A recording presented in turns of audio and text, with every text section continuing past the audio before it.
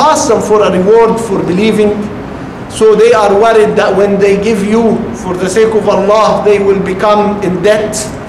So here, and this is something very important, that those who do things for the sake of Allah don't ask money. And we see all these cults and things, one of the basic things they tell you, you don't need money, but give us all your money because we need it. We know how to spend it. But Islam and all the messenger, every messenger said the same thing.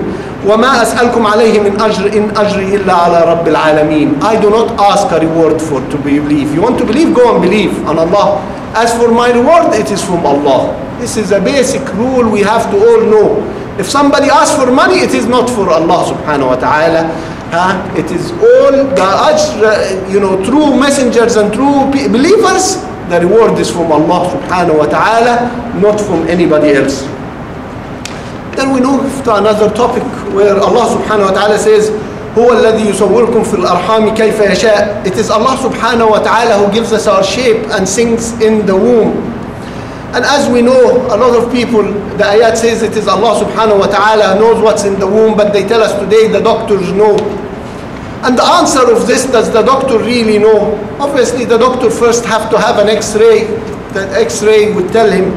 But the answer is in Surah Al, uh, in the ayah that says, الله يعلم كل أنثى وما تغيض الأرحام وما تزداد وكل شيء عند وكل شيء عنده بمقدار. Allah subhanahu wa ta'ala knows every female what she's carrying. Not the one that the doctor is seeing and says this woman after he does the x-ray is every female on earth. This is a human, an animal, a bird, an insect, every unsa, kullu unsa. Allah subhanahu wa ta'ala is saying. So does any human know every uh, female? ما تحمل وما تزداد. So the moment she's pregnant, Allah subhanahu wa ta'ala knows. When she uh, gives birth or she, uh, she has an abortion, Allah subhanahu wa ta'ala knows. So that's the difference between a doctor who needs an x-ray and Allah subhanahu wa ta'ala who knows every female on this universe. what does she carry? When does she put it? Or if she had an abortion. Subhanallah. So we can't say that just because the doctor knows for this female, he knows the knowledge of Allah subhanahu wa ta'ala. So, and as we know, um, a good person, one of the Salihin, uh, was sleeping and he dreamt with Malakul Maut, the angel of death. He dreamt of him. So, this man wanted to know when is he going to die. So he asked the angel of death, when am I going to die? So the angel of death answered him five, just number five. So he wakes up in the morning and goes and asks one of the scholars, I need to know, is it five minutes? Is it five days? Is it five years? He didn't, he just told me the number five. So this scholar told him, no, he didn't mean five days or uh, years or months or whatever. He meant referring to the ayah, there is five things that Allah subhanahu wa ta'ala knows. Allah عنده علم الساعة, He knows when the day of judgment is.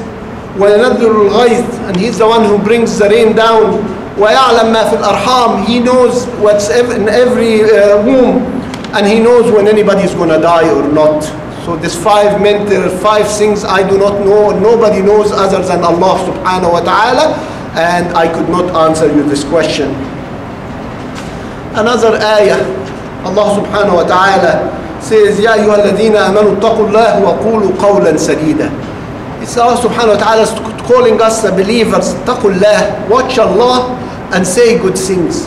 Most of us when we want to entertain somebody, we say nonsense, things for people to joke and whatnot. قولوا قولا سديدا, just to say the good things and the proper things rather than backstabbing somebody or we have time in our hand, we want to say somebody else did this and this. So what that's the reward of those who observe Allah and only say the good things. Allah subhanahu wa ta'ala says, يُصْلِحْ لَكُمْ أَعْمَالَكُمْ He will fix our deeds.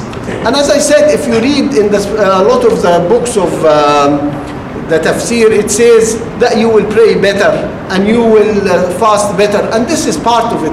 But يُصْلِحْ لَكُمْ أَعْمَالَكُمْ It's all your deeds. All our deeds. If I'm working, Allah subhanahu wa ta'ala will straighten me that I work right and I do right and I do the produced things. So it's all our deeds that will be right inshallah ويغفر لكم ذنوبكم and forgive your deeds so yes a lot of our scholars say the dunya doesn't matter it's all يصلح لكم so your prayers will be good and your fasting will be good but we are all human and Allah subhanahu wa ta'ala ألا يعلم من خلق he created us and yes in our hearts we want the dunya and inshallah we want al-akhirah but to try to say we only want al-akhirah this is what leads us we leave al-akhirah and we do anything to get us for a dunya because we don't realize that when we observe Allah and we say the right things we'll get a dunya and al-akhirah inshallah ومن يطع الله ورسوله فقد فاز فوزا عظيما and he who obeys Allah and his messenger will get the best uh, uh, best reward inshallah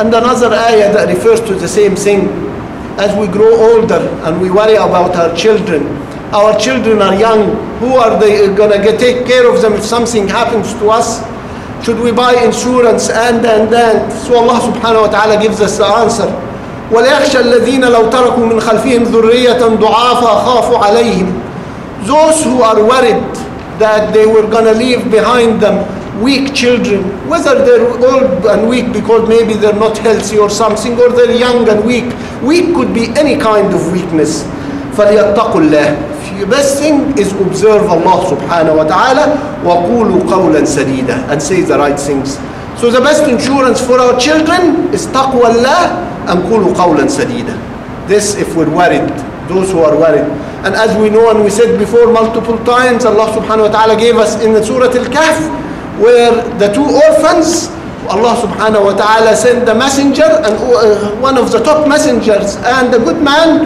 to protect them وكان أبوهما صالحا their father was a good man so the insurance is there and they go and take and I'm not here giving any fatwa about insurance because I share a story with you because I'm not a scholar and I'm not telling people to buy insurance or not it's not up to me I have a friend of mine he's a much older person and I used to meet him in Al-Hajj every year and he repeats the same story a man asked him is insurance halal or haram? And he's not a scholar. He said I had read it is haram. So he told him I think it's haram don't do it. Then he says subhanallah the man cancelled his insurance and within uh, months he passed away and his children and his family had nothing. And he said I tried to help them but how much could I help them and every year I see how much they're suffering and I see what I have done with my fatwa that I don't know just because I read somewhere. And then he says, when I read more now, I say there is different opinions. Some say yes, some say no. And yet because his one word, he says, I've seen it all my life. Seeing this family suffering and knowing that I gave the wrong fatwa. So I'm not here to give any scholar any fatwa or anything.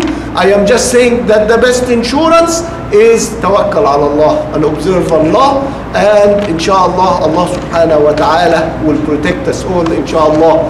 Rasul sallallahu alayhi wa sallam says all the children of Adam commit mistakes and the best of those who commit mistakes is those who ask for forgiveness. So let's pray to Allah subhanahu wa ta'ala and ask for his forgiveness inshallah.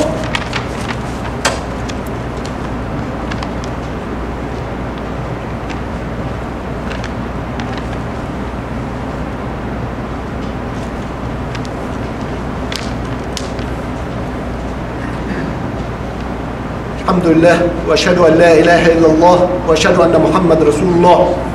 So in the last ayah we seen that Allah subhanahu wa ta'ala says if you're worried about your young children, taqillah, observe Allah.